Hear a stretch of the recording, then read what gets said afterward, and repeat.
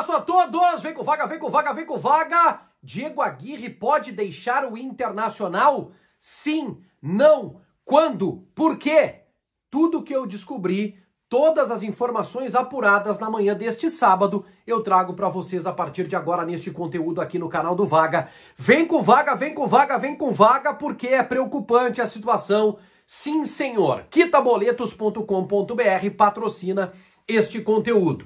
Quita Boletos é uma fintech que chegou como um camisa 10 para organizar o meio-campo, só que no campo das finanças, no teu caso, ou no caso de um amigo, de um familiar, de um vizinho que esteja precisando. Boleto atrasado, aquele boleto que não tem parcelamento, água, luz, internet, telefone, você já sabe.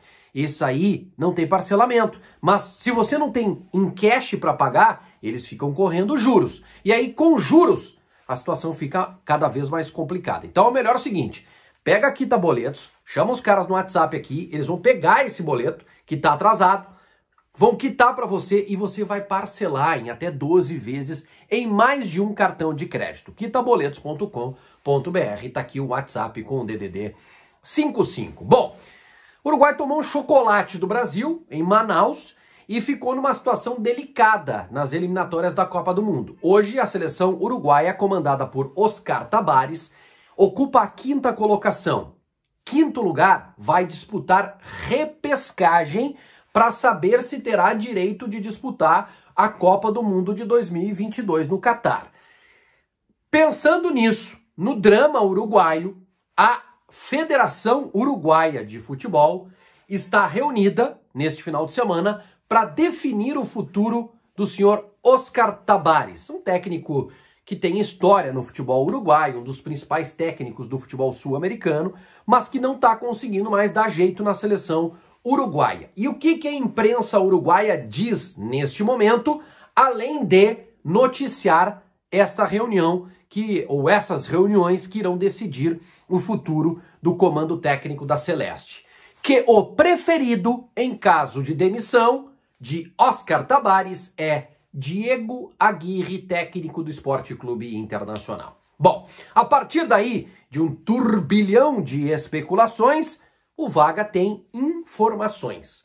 Inclusive teve uma especulação de que o Aguirre já teria inclusive comunicado o presidente Alessandro Barcelos que vai deixar o Internacional. Calma, segura, respira.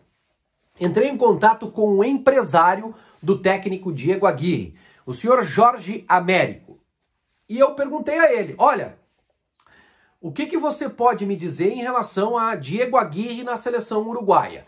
E o Jorge Américo prontamente me respondeu, imediatamente, é, da seguinte forma: o que nós sabemos é que a seleção uruguaia está discutindo a permanência do Tabares. Só isso. Não sabemos de mais absolutamente nada. Perguntei a ele: existe alguma cláusula contratual entre Diego Aguirre e Internacional que diga o seguinte: em caso de proposta da seleção uruguaia de futebol, Diego Aguirre poderá sair sem pagamento de multa ou poderá sair, se ele quiser, obviamente, uh, sem aviso prévio ou algo nesse sentido. E o Jorge Américo me garantiu que não existe esta cláusula.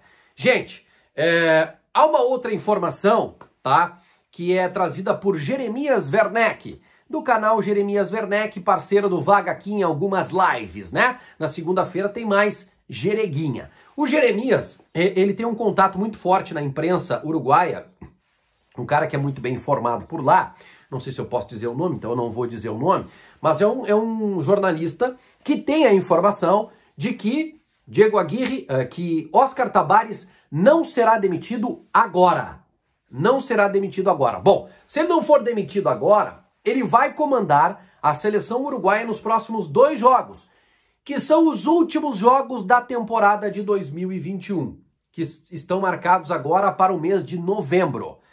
Com isso, com isso, com Tabares permanecendo até esses jogos e eventualmente saindo depois, o que que isso implica? Mesmo que Diego Aguirre seja o preferido, ele fica no Internacional até o final do Campeonato Brasileiro. Por quê?